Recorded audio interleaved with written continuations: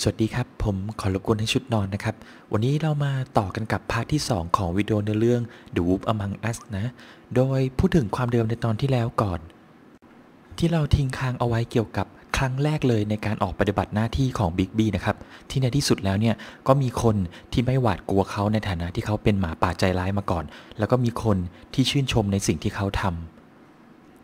ถึงแม้ว่าบิ๊กบี้จะไม่รู้ว่าผู้หญิงที่ทำให้เขารู้สึกดีกับชีวิตของตัวเองเนี่ยเป็นใครมาจากไหน หรือว่าไม่รู้แม้แต่ว่าชื่อว่าอะไรก็ตาม แต่อย่างน้อยๆถือว่าวันนี้เป็นการเริ่มต้นที่ดีกับการเป็นตัวละครจากนิทานที่มาเริ่มต้นใหม่ในชีวิตแห่งโลกความเป็นจริง ทีนี้เรามาต่อกันกับเรื่องราวใน part ที่ 2 กันครับ โดยที่หลังจากออกไปพิทักษ์สันติราษฎร์แล้วเนี่ยบิ๊กบี้ก็กลับมาพักผ่อน โดยที่พักของเขาเป็นลักษณะเหมือนกับเป็นที่ว่าราชการของเมือง Fabletown ด้วย ก็คือมีทั้งในโซนของที่พัก แล้วก็มีในส่วนของออฟฟิศราชการให้คนมาติดต่อ รวมถึงออฟฟิศที่เป็นสำหรับของนายอำเภอของเขาเองเนี่ยก็อยู่ที่นี่ด้วยเหมือนกัน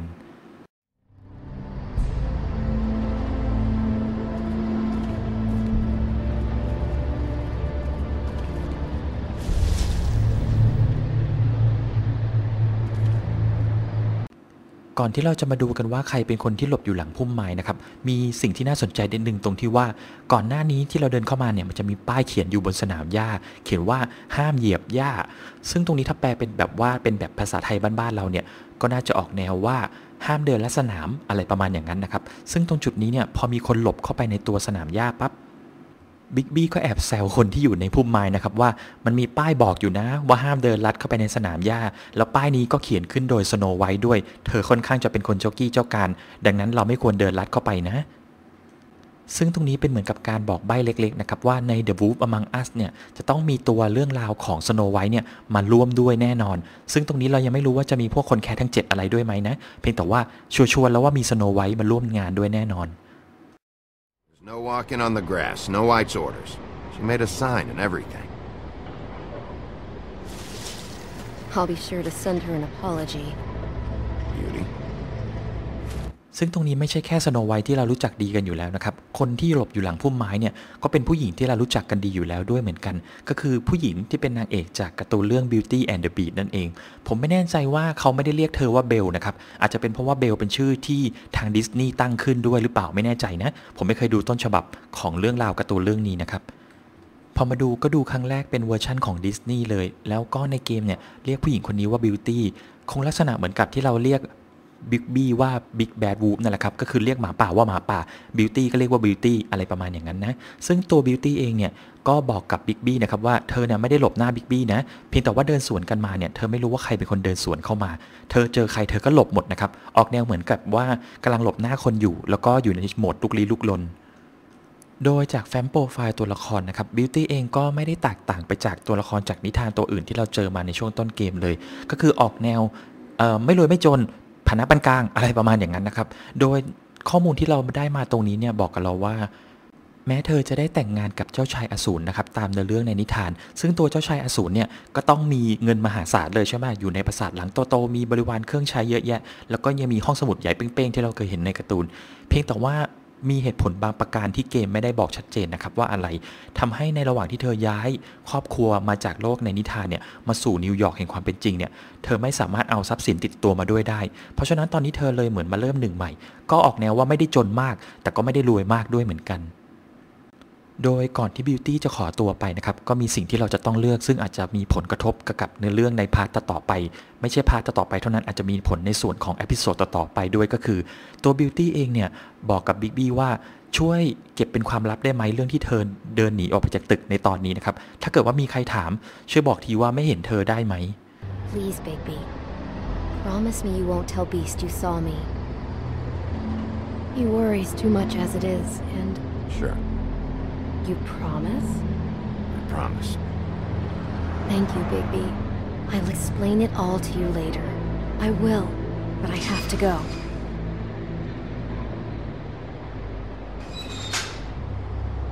Thank you for trusting me.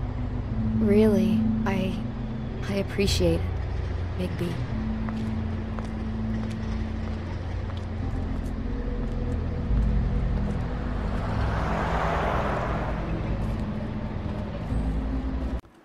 ซึ่งตรงนี้ก็แล้วแต่เรานะครับ แต่ตัวผมเองเนี่ยเล่นกี่ทีก็รับปากทุกครั้งเลย แต่ถ้าเกิดว่าใครกดไม่รับปากเนี่ย ผมเชื่อว่าคงยังไม่มีผลใน episode ที่1 นะ คงจะมีผลใน episode ต่อๆไปซะมากกว่า แต่ไม่ว่าเราจะรับปากหรือไม่รับปากเธอยังไงนะครับ ก็จะต้องแบกรับความรับผิดชอบนั้นทันทีเลย เพราะว่าพอเรากลับเข้ามาถึงในตัวตึกเนี่ย เราก็จะได้เจอกับคนที่กำลังตามหาตัวบิวตี้อยู่ ซึ่งก็ไม่ใช่ใครนะครับ ก็คือ Beast หรือเจ้าชายอสูรนั่นเอง Hey, wait up. Have you seen my wife? Have you seen Beauty? Nope. Haven't seen her. Oh. Okay. Sorry to bother you. Damn it. Something's going on. ทีนี้เพื่อที่จะให้สอดคล้องกันกับคำสัญญาที่ผมให้ไว้กับบิวตี้นะครับ พอบีดหันมาถามเราว่า ได้เห็นบิวตี้เดินผ่านมาบ้างหรือเปล่าเนี่ย ผมก็เลยจะตอบไปว่าเราไม่เห็นนะ ซึ่งถ้าเราแอบกดไปดูในส่วนของโปรไฟล์ของ Beast นะครับ เราก็จะได้เห็นข้อมูลที่บอกตรงกันกับของบิวตี้นั่นก็คือ ออกแนวว่าไม่ได้ขนเงินทองมาด้วยตอนที่ย้ายมาอยู่ที่นิวยอร์ก แล้วก็ต้องมาเริ่มต้นนับหนึ่งกันใหม่ที่นิวยอร์กเลย แล้วก็ตัว Beast เองเนี่ย ก็ยังทำงานหลายงานหลายกะควบคู่กันไป เพื่อให้มีเงินมากพอมาใช้จ่ายในครอบครัว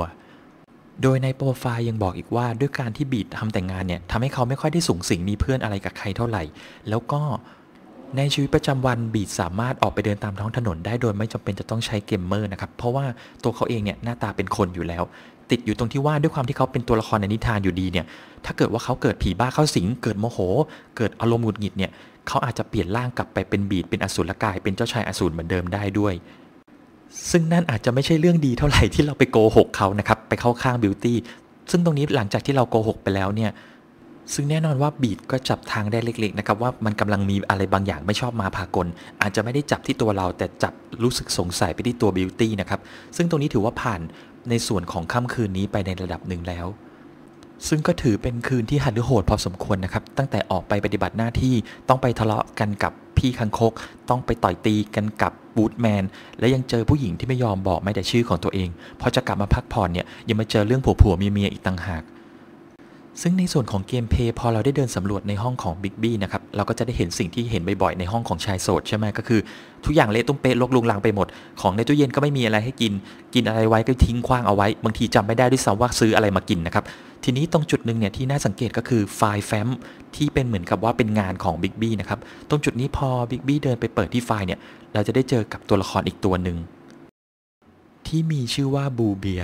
โดยเราจะพูดถึงเรื่องราวในนิทานก่อนนะ คือเขาก็เป็นตัวละครในนิทานเหมือนกันนะครับ โดยในนิทานของเขาเนี่ยเป็นเหมือนนิทานสยองขวัญของฝรั่งเศส พูดถึงขุนนางฝรั่งเศสคนหนึ่งที่ชื่อว่าบูเบียเนี่ยแหละครับ โดยในขั้นต้นบูเบียเป็นขุนนางที่ร่ำรวยนะครับ เพียงแต่ว่าหน้าตาน่าเกลียดน่ากลัว แต่ถึงอย่างนั้นเขาก็ยังได้แต่งงานหลายต่อหลายครั้ง แต่ว่าก็มีข้อสงสัยตรงที่ว่าภรรยาของเขามักจะหายตัวไปอย่างไรล่องลอย จนอยู่มาวันหนึ่งเนี่ยบูเบียก็ไปจีบพี่น้องสองสาวนะครับให้มาเป็นภรรยาตัวเอง คุยกันอยู่นานทั้งสองสาวก็ไม่ยอมไปนะครับเพราะว่าเหมือนกับไม่ชอบหน้าตาน่าเกลียดของบูเบีย เพียงแต่ว่าหลังจากนั้นเนี่ยบูเบียก็ออกแนวจัดงานปาร์ตี้ จนในที่สุดสุดท้ายแล้วเนี่ยก็สามารถกล่อมน้องคนเล็กเนี่ยให้มาแต่งงานกับตัวเองจนได้ หลังจากแต่งงานกับน้องคนเล็กไปแล้วเนี่ย มีอยู่มาวันหนึ่งบูเบียจำเป็นจะต้องออกไปเดินทางไกล เขาจึงฝากกุญแจทั้งหมดของตัวปราสาทเนี่ยไว้กับตัวภรรยา แน่นอนว่าในตัวปราสาทเต็มไปด้วยขุมทรัพย์นะครับสมบัติต่างๆ ที่เป็นเหมือนกับจุดขายของเขาเลย แต่ว่ามีกุญแจอยู่ดอกหนึ่งเป็นเหมือนกุญแจดอกจิ๋ว ซึ่งเป็นเหมือนกุญแจที่บูเบียกำชับว่าห้ามไปใช้เปิดเด็ดขาด คือกุญแจดอกอื่นทั่วไปที่สามารถไปเปิดห้องสมบัติเนี่ยก็เอาไปเปิดได้เลยนะครับเอาไปรูดปืนรูดปืนยังไงก็ได้เลยใช้ได้เต็มที่ เพียงแต่ว่ากุญแจดอกเล็กนี้เนี่ยเอาไว้เปิดห้องใต้ปราสาท ซึ่งตัวนี้กำชับเด็ดขาดเลยว่าห้ามเอาไปใช้ ก็ไม่เข้าใจว่าถ้าเกิดว่าห้ามเอาไปใช้เราจะเอาไว้ให้ทำไมนะครับเพียงแต่ว่าหลังจากบูเบียไปแล้วเนี่ยน้องคนเล็กก็เกิดอาการอยากรู้อยากเห็นนะครับ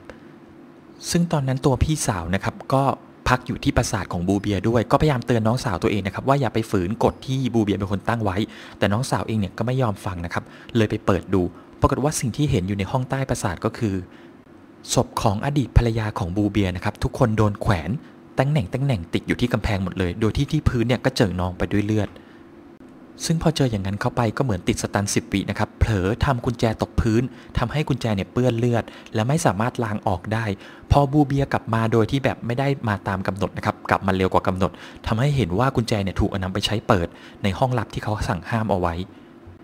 บูเบียเลยพยายามที่จะฆ่าสองพี่น้องปิดปากนะครับ เพียงแต่ว่าก่อนที่จะทำได้สำเร็จเนี่ย เหล่าพี่ชายของสองพี่น้องเนี่ยก็มาช่วยไว้ได้ทัน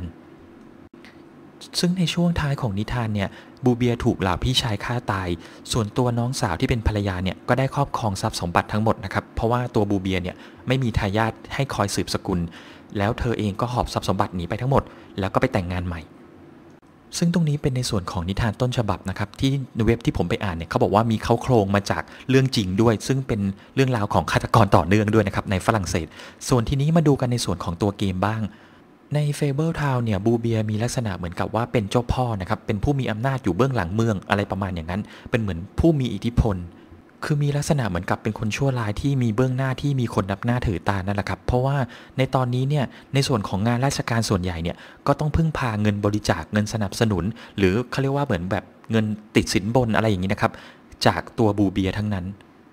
ออกแนวลักษณะเหมือนเกมการเมืองนะครับ พวกนายกพวกนักการเมืองเนี่ยส่วนใหญ่ก็จะมีพวกพ่อค้า พวกมีผู้มีอิทธิพลแบบบูเบียเนี่ยคอยหนุนหลัง คอยให้เงินสนับสนุนสำหรับการทำแคมเปญต่างๆ ซึ่งแน่นอนว่าการที่บูเบียทำอะไรอย่างนี้ได้เนี่ยก็เป็นเพราะว่าเขาเป็นหนึ่งในคนที่รวยที่สุดของเมือง Fabletown ด้วยนะครับเพียงแต่ว่าในตัวเกมเนี่ยผมเล่นจนจบ episode ที่ 1 แล้วเนี่ยก็ยังไม่เจอตัวบูเบียแบบตัวเป็นๆเลยนะครับ ดังนั้นเนี่ยเราจะมาโฟกัสกับคนที่เรากำลังได้เจออยู่ในห้องของบิ๊กบี้แทนแล้วกัน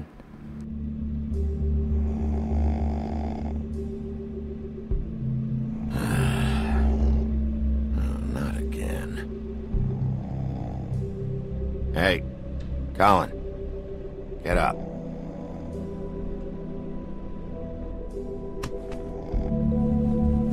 Huh. Oh, hey, Big B. I'm in your chair, huh? I've only got the one. So yeah.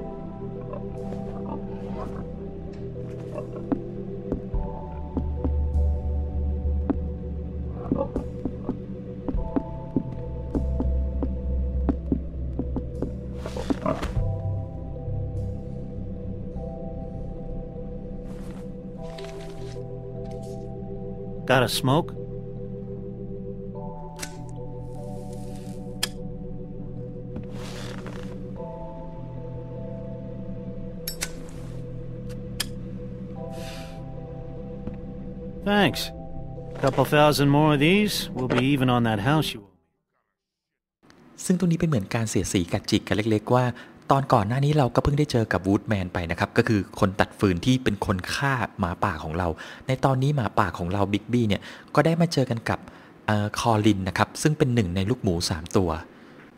คร่าวๆเกี่ยวกับตัวนิทานที่เราเคยดูกันมาตั้งแต่สมัยเด็กๆนะครับ ก็คือมีหมู 3 ตัวพี่น้องกัน หมูตัวแรกค่อนข้างขี้เกียจก็เลยสร้างบ้านขึ้นมาจากฟาง คนที่ 2 ขยันขึ้นมาหน่อยนึงแต่ว่าตะกละก็เลยสร้างบ้านขึ้นมาจากไม้ ส่วนคนที่3เนี่ย สร้างบ้านขึ้นมาจากปูน เพราะว่าเป็นคนขยันอ้าวเป็นหมูขยัน แล้วอยู่มาวันหนึ่งก็มีหมาป่าใจร้าย บุกมาจะมากินหมู3ตัว หมูตัวแรกหลบอยู่ในบ้านฟาง ก็ถูกหมาป่าเนี่ย อัดลมแล้วก็เป่าจนฟางกระจุย มันเลยวิ่งหนีไปอยู่ในบ้านไม้กับหมูอีกตัว หมาป่าก็เป่าจนบ้านไม้กระจุยอีก หมูทั้งสองตัวก็เลยไปหลบอยู่ในบ้านปูนณบ้านปูนเนี่ยไม่ว่าหมาป่าจะเป่ายังไงบ้านก็ไม่ยอมพังลงมา โดยสุดท้ายหมาป่าก็ใช้แผนเซนตาคอร์ดนะครับปีนเข้าไปทางป่องไฟ เพียงแต่ว่าหมูเจ้าของบ้านปูนเนี่ยก็เห็นทันก่อนก็เลยทำการต้มน้ำดักรอให้หล่นลงไปในหม้อพอโดนน้ำลวกเนี่ยหมาป่าก็เลยหนีออกไป จบเป็นนิทานเรื่องหนึ่ง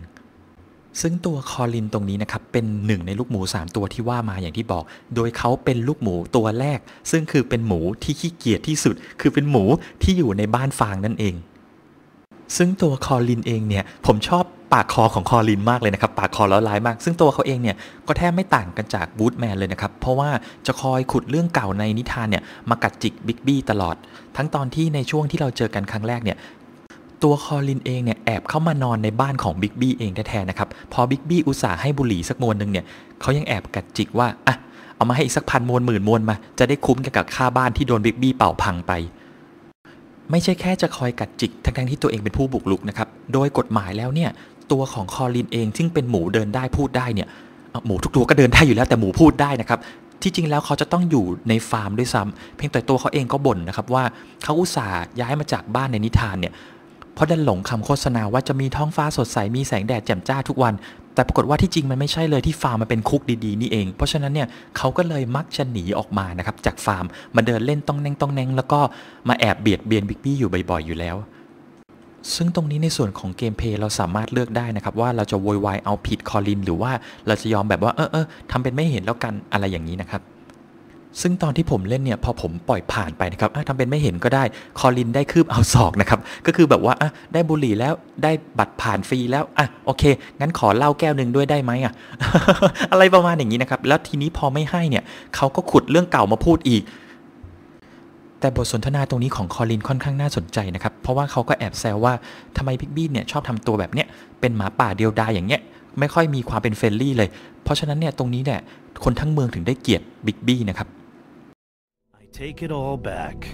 This is why everyone hates you. So, everyone hates me. Nah, I'm just giving you shit. I'm doing my best here. Clearly, that is not true. What with the selfishness with the bourbon. But, uh, no, um, hate's the wrong word. They fear you more than anything. You ate a lot of people back in your day. I thought we were all supposed to have a fresh start here. I can't change the past. Well, you can't change people's memories either. Look, I'm not saying it's fair, but it's real. People are scared of you. ซึ่งตรงนี้พอเจอเข้าไปบิ๊กบี้ก็แอบสะอึกน้อยใจนะครับ ว่าแบบอ๋อทำไมต้องเกลียดด้วยล่ะคือเขาก็ทำหน้าที่ของเขาพยายามอย่างเต็มที่อยู่นะทำไมต้องเกลียดด้วย คือคอลินก็พยายามอธิบายต่อว่าที่จริงก็ไม่เชิงเกลียดหรอก เขาอาจจะพูดแรงไป คือเหมือนกับว่าทุกคนกลัวบิ๊กบี้มากกว่า ก็อย่างที่บอกบิ๊กบี้เป็นหมาป่าใจร้ายใช่ไหมอดีตทำเรื่องงามหน้าไว้เยอะ ทุกคนก็เลยยังกลัวอยู่ ในขณะเดียวกันบิ๊กบี้เองก็พยายามจะแก้ตัวนะครับว่าทุกคนเนี่ย เดินทางมาอยู่ที่นิวยอร์กเพื่อที่จะเริ่มต้นใหม่ไม่ใช่เหรอ เขาไม่สามารถเปลี่ยนแปลงอดีตได้นะ เพราะฉะนั้นที่นี่เป็นโอกาสสำหรับการเริ่มต้นใหม่นี่นา แต่คอลินก็ยังทำบิ๊กบี้จุกนะครับด้วยการบอกว่าใช่ แต่เราก็ไม่สามารถที่จะเปลี่ยนความทรงจำในหัวของคนอื่นได้ด้วยเหมือนกัน เพราะฉะนั้นทุกคนก็เลยยังจดจำอยู่ว่าบิ๊กบี้คือหมาป่าใจร้าย แถมคอลินยังชี้ให้ดูอีกด้วยว่าที่มือของบิ๊กบี้ตอนนี้เนี่ยก็ไปสะบักสะบอมไปต่อยหน้าใครมา แล้วอย่างนี้จะไม่ให้คนกลัวได้ยังไง ซึ่งบิ๊กบี้ก็พยายามจะแก้ตัวนะครับว่าแบบเอ้ามันช่วยไม่ได้วูดแมนมันลุยเข้ามาเองใช่ไหมเราก็เห็นกันเห็นกันอยู่ แต่ตรงจุดนี้นี่แหละครับ ก็คือคอลินก็พยายามจะสื่อประเด็นให้ฟังว่า เราจะอ้างว่าเรื่องมันช่วยไม่ได้อย่างนี้บ่อย ๆ ไม่ได้ เพราะว่าทุกคนก็จะจำเอาไว้ต่อไปว่า เราคือหมาป่าใจร้ายไม่หยุด ซึ่งการโต้คารมมัธยมศึกษาตรงนี้ไม่ยอมจบง่ายๆนะครับเพราะบิ๊กบี้เองเนี่ยก็พยายามจะเถียงกลับว่า คิดว่างานของเขามันง่ายเหรอในการที่จะต้องดูแลเมืองทั้งเมืองที่เต็มไปด้วยตัวละครจากนิทานเนี่ยไม่ให้ฆ่ากันเอง เพราะฉะนั้นเขาเนี่ยเลยจำเป็นจะต้องสวมบทเป็นผู้ร้าย โหดดิบ เป็นหมาป่าที่โหดฝัดๆออกมา เพื่อที่จะดูแลความสงบ You think my job is easy? You try keeping a bunch of fables from killing each other. How do you think this all works? I don't know. How? By being big and being bad. By being big and being bad. Don't say that shit in front of people. It's embarrassing. แต่ว่านั่นกลับกลายไปว่าเข้าทางคอลินนะครับ เพราะคอลินก็เลยบอกว่าเขาเพราะคิดอยู่อย่างเงี้ยเพราะชอบทำตัวแบบนี้นี่ไง คนอื่นถึงได้กลัวไม่หายกลัวสักที แต่ตรงนี้เนี่ยวันนี้บิ๊กบี้ได้เรื่องดีๆมา เขาเพิ่งไปช่วยผู้หญิงแปลกหน้ามา แล้วผู้หญิงคนนั้นเนี่ยเข้าใจว่าเขาเป็นหมาป่าน่ารัก เพราะฉะนั้นเขาก็เลยจะยก ไพ่นี้เป็นไพ่ตายนะครับ เอามาข่มคอลิน ติดปัญหาแค่ว่าบิ๊กบี้ไม่รู้ว่าแม่นางคนนั้นชื่ออะไรนะครับ เพราะฉะนั้นคอลินก็เลยบอกว่างั้นตัวอย่างนี้ถือเป็นโมฆะไป โดยบรรยากาศในการพูดคุยกันเหมือนกับว่ารู้ตื้นลึกหนาบางกันดีขนาดนี้เนี่ยทำให้เรารู้สึกได้นะครับว่าทั้งสองคนเนี่ยเป็นเหมือนเพื่อนสนิทกัน แสดงว่าคอลินเองก็คงจะหนีออกมาจากฟาร์มมานอนเท้งเต้งเกาพุงอยู่ในห้องของบิ๊กบี้อยู่บ่อยๆ ถึงขนาดว่าสนิทกันจนรู้ด้วยซ้ำนะครับว่าที่จริงแล้วบิ๊กบี้เนี่ยก็มีสาวที่แอบชอบอยู่เหมือนกัน ซึ่งไม่ใช่ใครที่ไหนนะครับ ก็คือสโนไวท์นั่นเอง ซึ่งตรงจุดนี้เรื่องราวมันชักอีลุงตุงนางบานปลายกันเป็นใหญ่แล้วทำไมหมาป่าใจร้ายถึงกลายเป็นนายอำเภอทำไมหมาป่าใจร้าย ถึงกลายเป็นเพื่อนสนิทกับหมูที่เขาเคยจะกินทำไมหมาป่าใจร้าย ถึงแอบหลงรักสโนไวท์จากสโนไวท์กับคนแคระทั้ง 7 มันข้ามไปคนละเรื่องแล้วน่ะ แต่ถึงชีวิตจะมารุมมาตุ้มยังไงนะครับก็ยังดีที่บิ๊กบี้ก็มีเพื่อนสนิทกับเขาเหมือนกัน ก็คือยังดีที่มีคอลินนี่แหละครับออกแนวเหมือนกับชีวิตฉันมีแต่หมูนำอะไรประมาณอย่างนั้นนะครับก็คือยังมีคอลินคอยเป็นเพื่อนที่จะคอยปรับทุกข์ได้ คอยให้ความเข้าใจ คอยให้กำลังใจ แล้วก็คอยให้คำแนะนำถึงแม้คำแนะนำกำลังใจต่างๆ จะมาในรูปของคำพูดด่าทอกัดจิกก็ตามนะครับ แต่ก็ถือว่ายังดีที่มีเพื่อนที่สามารถที่จะพูดเล่นหัวกันแบบนี้ได้ เพราะยังไงคอลินก็ดูจะมาแนวลักษณะแบบนี้อยู่แล้วนะครับ เป็นเหมือนกับ เป็นหมูปากหมาที่ให้คำแนะนำหมาป่าอีกทีหนึ่ง Thanks, Bigby.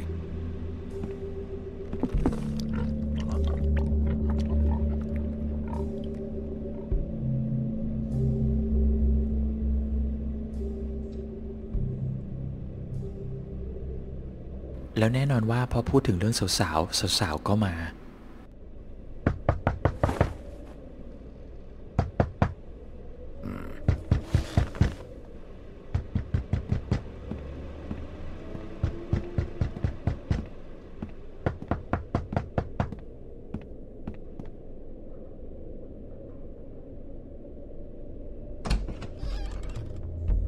Bigby, Snow?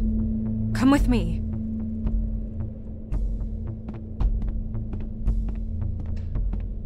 Snow. Snow! What? Sorry, I'm. What is it? What happened? I just can't get into it this second. We need to hurry to. Hi. Hello. Good morning. Or evening. Yeah.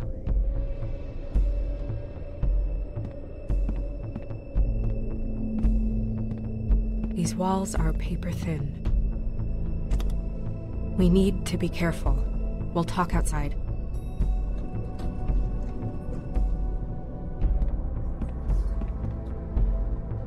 โดยที่ยังไม่จบคืนด้วยซ้ำนะครับ เขาได้งีบไปแป๊บเดียวเนี่ย ก็ตื่นขึ้นมาโดยได้เจอกับสโนไวท์ซึ่งวันนี้ถือว่าเป็นคืนที่ดีสำหรับบิ๊กบี้นะ เพราะว่าได้เจอทั้งผู้หญิงที่เชื่อในตัวของเขาก็คือแม่นางนะครับที่เราได้ช่วยไป แล้วยังได้เจอกับผู้หญิงที่แอบชอบอย่างสโนไวท์มาหาถึงห้องด้วย จะมีอะไรทำแม่งทำแม่งนิดนึงก็ตรงที่ว่าสโนไวท์ซึ่งทำหน้าที่เป็นเหมือนกับเลขาของนายกของเมืองเนี่ยมาด้วยท่าทางที่ตื่นนะครับตื่นตระหนก แล้วก็บอกกับบิ๊กบี้ว่า เธอไปเจอของบางอย่างที่หน้าตึกสำนักงานนะครับ แล้วก็เสื้อโค้ทของยามเนี่ยที่แอบหลับเอาไปคุมเอาไว้อยู่ ตอนนี้เนี่ยเธออยากจะให้เรารีบไปสำรวจของสิ่งนั้น แต่ว่าอย่าเพิ่งพูดอะไรในตอนนี้ เพราะว่าที่นี่หน้าต่างมีหูประตูมีช่องเดี๋ยวเรื่องราวจะแตกตื่นซะก่อน